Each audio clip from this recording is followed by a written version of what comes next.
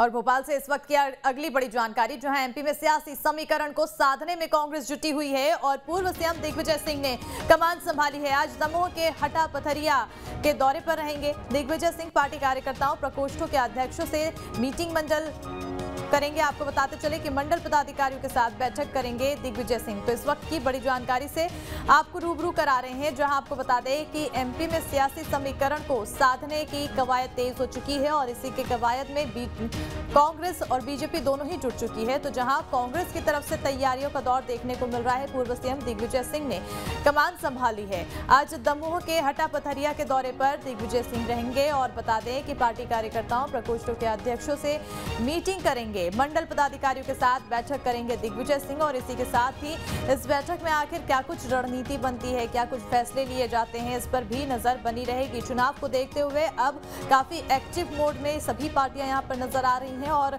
दिग्विजय सिंह का ये दौरा, ये मीटिंग काफ़ी ज़्यादा अहम और हो जाती है। इस पर नज़र बनी रहेगी कि आखिर इस मीटिंग में क्या कुछ रणनीति बनाई जाएगी, क्या कुछ एक्शन आने वाले समय में पार्टी लेती है ताकि उसका असर चुनाव में पड़ता दिखाई दे।